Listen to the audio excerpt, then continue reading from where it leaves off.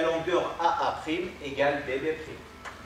C'est un fait, les relations sont toujours plus fluides dans un amphi à dimension humaine. Ce n'est sans doute pas le sujet de ce cours de théorie des mécanismes, mais dès la première année, les étudiants de l'école d'ingénieurs de Cherbourg expérimentent le travail en petit comité. Les étudiants ne sont pas dilués dans des grandes masses, on ne fait pas des amphis à 500 étudiants.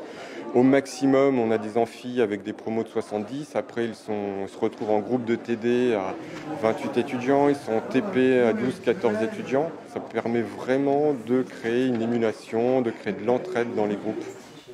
À l'ESIX de Cherbourg, les élèves ingénieurs ne tardent pas à nouer des relations qui vont entretenir l'émulation tout au long de l'année. On sait les compétences et les domaines de chacun. Donc ça fait qu'on a un groupe de projet et une ambiance de travail euh, meilleure. C'est un peu la marque de fabrique de ce site universitaire qui regroupe aujourd'hui un IUT avec des formations commerciales et industrielles, des licences pro et une école d'ingénieurs spécialisée dans les énergies renouvelables et le nucléaire.